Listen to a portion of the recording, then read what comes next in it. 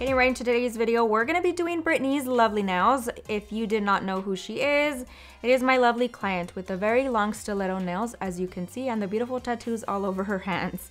So if you are new to my channel, now you know. But my girl Brittany, if you haven't been following our journey, she officially has an allergic reaction to one of the products that I use. I've been doing her nails every two to three weeks for the past five years, I would say. So it's one of the products that I have been using on her. And we are on the hunt to kind of narrow it down and see what is causing irritation. We have all came to the conclusion that it might be HEMA. So I have officially switched out all of her products. We are going to be doing one last final attempt of still trying to use acrylic on her by switching out all the products into HEMA free products. And if this does not work, if that fails, we will officially be switching her to Builder Gel. And I already notified her of that and she's totally on par with it as long as I continue to do her nails. So we're just gonna continue to remove that. I'm using my dust collector, like I mentioned, for research purposes. We're hoping that you guys can see how very little suction it is doing. It's very loud, so that's kind of why I don't use it. It is extremely annoying to try to talk over it. And we do a lot of you know gossiping girl talk in the salon while i'm doing everyone's nails. So i didn't already like the sound of it. Um not only that i feel like the suction is just not there. You can see dust everywhere on my hands on her fingers. It literally goes onto my armrest on my on my towels. Like everything is just covered with dust. So is not doing a very good job. For research purposes, we're to be taking my Kiara Sky dust collector in the next appointment that I have with Britney because her nails are very long and very thick. We do get a lot of dust, obviously, from all the filing. So we're gonna really put it to the test with her nails. I'm gonna be going in now with my hand file and just filing the sides, reshaping those nails so that they are super, super sharp, nice and crisp. The key is to envision one straight line right down the middle and then you file both sides until that point is super, super sharp. So I'm gonna continue to do that until I am content. Y'all, her nails have gotten so long and it is insane that I didn't notice it until now, but I just love the look of them it is amazing how she could function on her daily day-to-day -day basis with these long nails. It just reminds me of when I was getting my long nails and now I miss them. So we're gonna be giving her props for that because I did not realize how long they have gotten.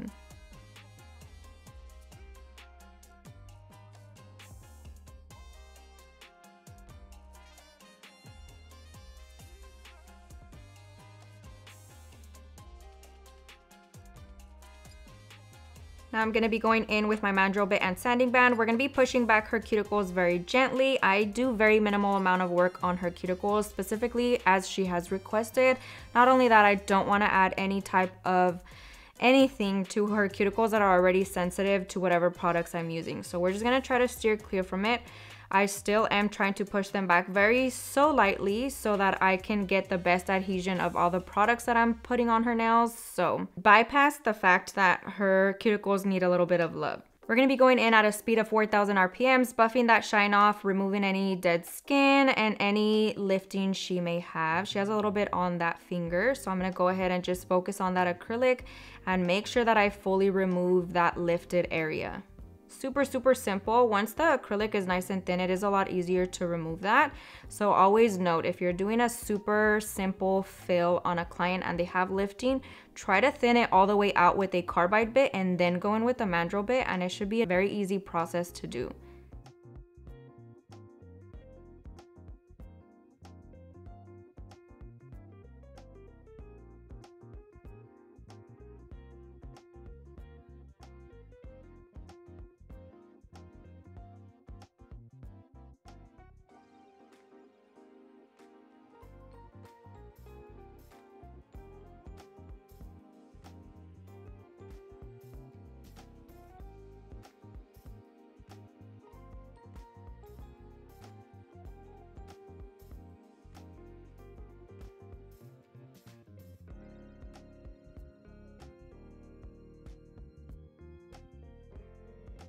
We're quickly cleaning off the surface. I'm trying to stay away from her skin so that I don't irritate them.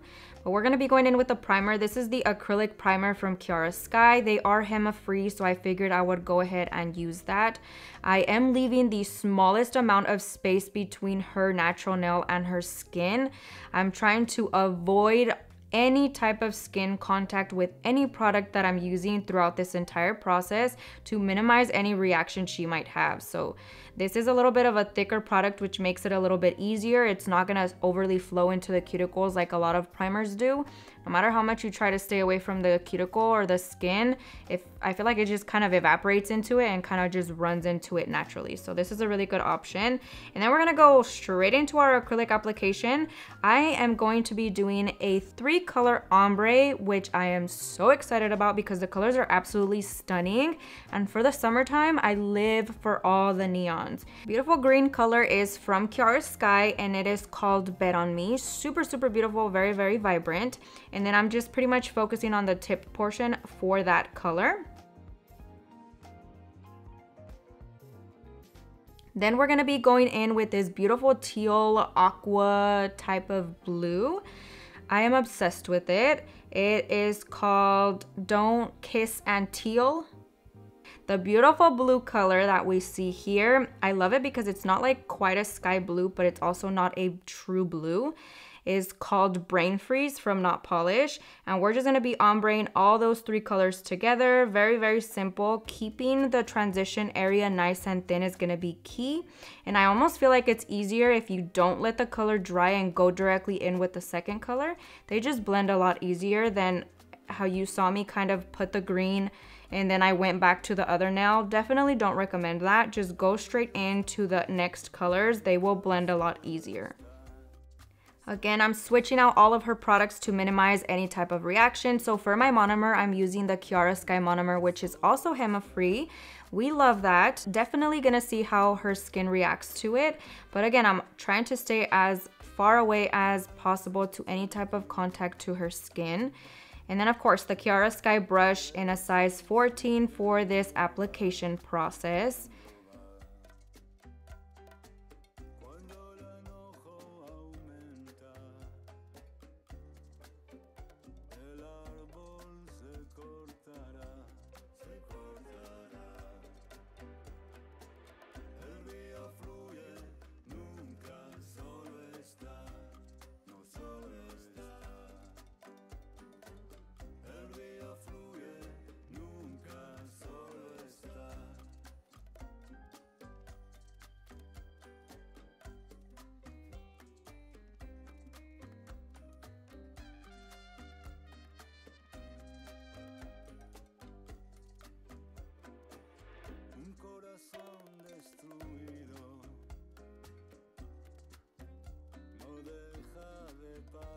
Once I'm done doing that ombre, I'm going to be going in and encapsulating. I always do this, especially when I'm doing ombre nails so that I can protect those transition portions.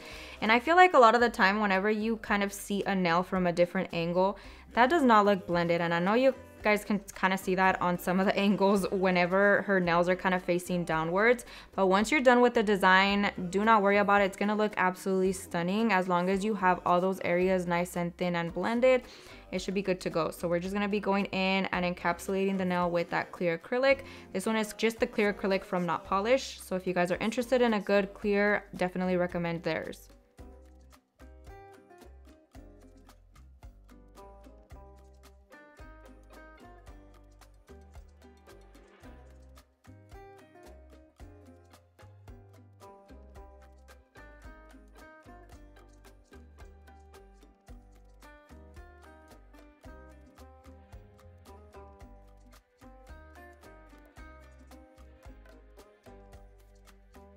Going in and filing the entire nail using my e-file, same bit that I used earlier at 11,000 RPMs.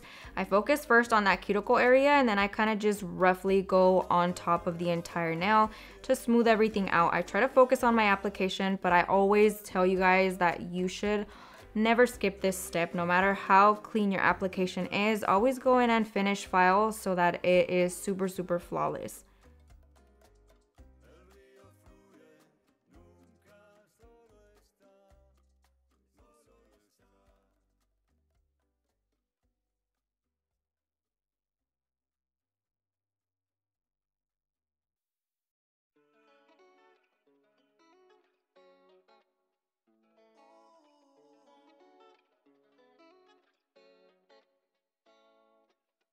mí que más. Hay algo en ti que me tiene mal. Una belleza que me quema. Cuando guaya, la nota me estalla. Mami, ¿qué más? Hay algo en ti que me tiene mal. Sé que anda puesta para el problema. Dale guaya, que yo te doy falla, falla. And then one last shaping process with my Tammy Taylor peel and stick file. Y'all can use whatever hand file you like, but I absolutely adore these. They are my favorite go-to no matter what. I just always come back to the Tammy Taylor files. They're just so good and very, very easy to dispose and sanitize the little pink plastic portion of it. We're going in side to side filing it. I'm doing very minimal amount of filing because I already pre-shaped them and I always like to tuck in that acrylic so that it doesn't overflow and make the nail super bulky. So I'm pretty much just tightening and like making everything super, super crisp at this point.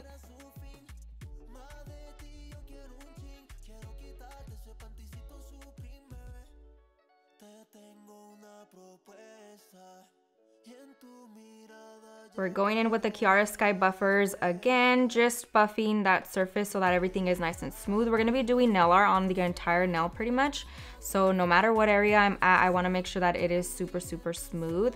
And as always, I have an alternative buffer on my Amazon storefront. If you guys are interested, I'll leave that link down below too. They're a little bit cheaper and they have different colors available as well.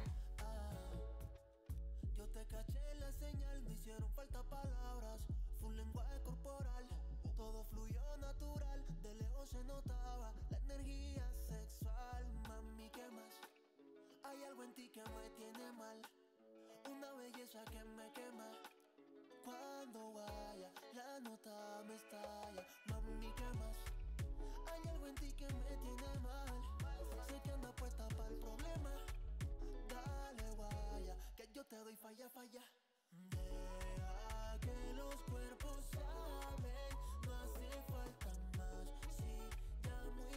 Y'all don't laugh at me, but whenever it comes to nail art that is not super common or I'm not used to doing, I get lost. So I've also noticed when something is a little bit more distorted than perfect, I overthink it a lot more. So I ended up having to do one little flower as my reference and then we kind of just copy pasted on the rest of the nails. We are going to be doing SpongeBob SquarePants Sky nails. So if the design hasn't came together yet, at this point it should give you all the SpongeBob vibes. So we're going to be doing a combination of purple, yellow, green, and blue if I'm not mistaken. They're all pastel colors so that they could pop a little bit more. Instead of using neons, I feel like they would have definitely just blended into the such rich colors that we used for our ombre. The key to these flowers is to not overthink it as I say it all the time, but you pretty much want a thinner base and then bring it out into almost like a circle and then bring it back in. Five little petals is also gonna be the key for it to look nice and cohesive. Right there I did four and it just looked a little off and they don't have to be perfect. They could be a little bit wonky. Some of them can be a little bit bigger. They can be a little bit lopsided. The key is just to have that type of shape to all of the petals. And then I'm just gonna continue that in the rest of the colors. I'm using my not polished nail art brush and I actually am going to be curing all of the purple ones first, working on the next hand, and then we're gonna come back with all the rest of the colors.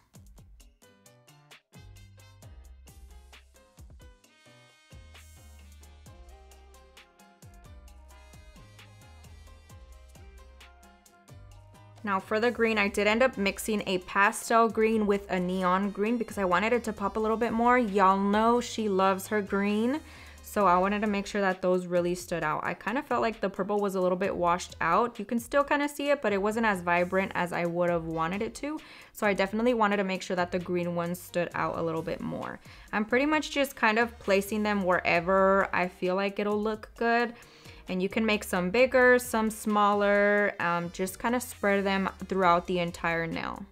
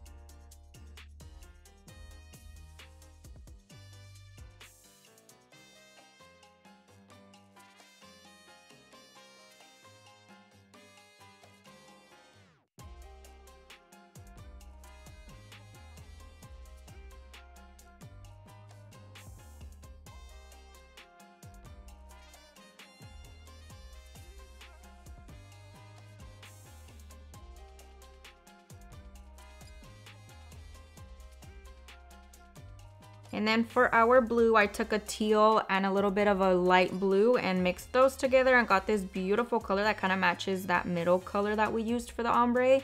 Absolutely love it. I feel like the colors just complement the ombre very, very well.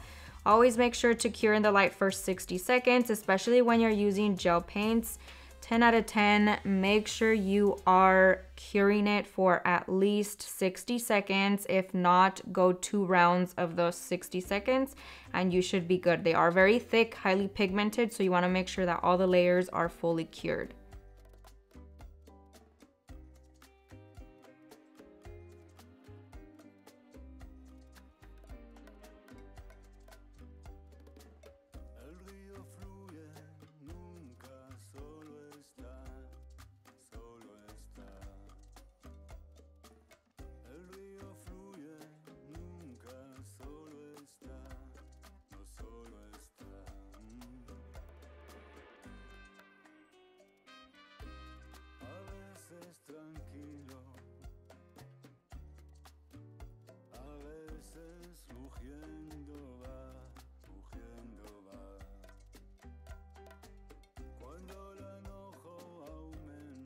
And lastly, since I was already using all pretty much Kiara Sky products, I figured I would go ahead and use one of their top coats. This is actually the Rub-On Chrome Top Coat.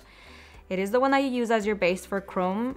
And I figured I would go ahead and try it out because it says not non-wipe top coat. So I figured it would be the same thing. I'll keep you guys updated on how her nails last. But as far as I know, it's pretty much the same thing. Now, quick little spoiler, it has now been a few days after I did Britney's nails. She did go ahead and let me know that she hasn't had any reaction. She hasn't had any inflammation, no irritation, no nothing. So this might be the key to salvaging her acrylic nails. If you guys have been struggling with any type of allergic reaction, definitely recommend to use a HEMA-free product like the Kiara Sky one. So just rubbing in some cuticle oil into her cuticles and that pretty much concludes today's video. Let me know what you guys think down below. Thank you so much for watching. I hope you enjoyed it. I hope you learned a ton and I'll see y'all next time.